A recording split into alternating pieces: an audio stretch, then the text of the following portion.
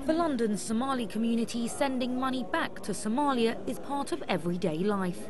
Remittances account for over half of the country's income and are the only way many families can afford food, medicines and schooling. Following decades of war, Somalia has no banking system, so people use money transfer companies such as Dahabshiil. But this vital lifeline may soon be cut off.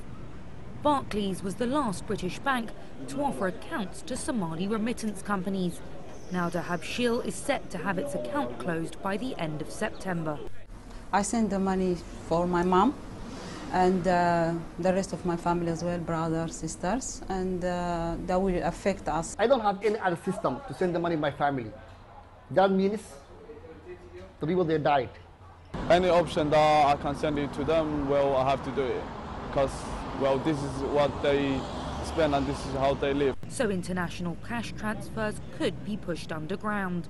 Consumers will have no choice in many cases but to use illegal money transfer operators and that will be very negative because uh, the security of the, of the, money will be uh, much less certain uh, and uh, it will be much more open to abuse. And it is precisely to comply with anti-money laundering and anti-terrorism financing regulations that Barclays is shutting remittance companies' accounts.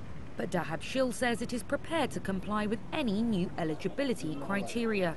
Uh, we would like to, to, to contribute from our part and we are willing to be part of any uh, uh, reviewed code of conduct. Many say governments need to be the driving force for a solution.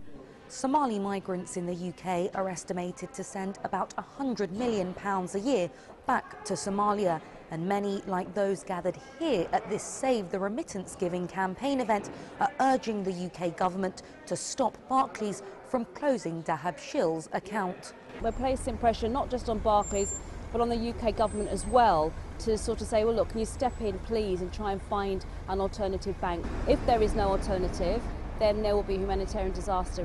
Aid agencies warn that Somalia's long-term development is at serious risk of being damaged if the Somali diaspora is not able to provide its country with support. Natalie Feary, CCTV, London.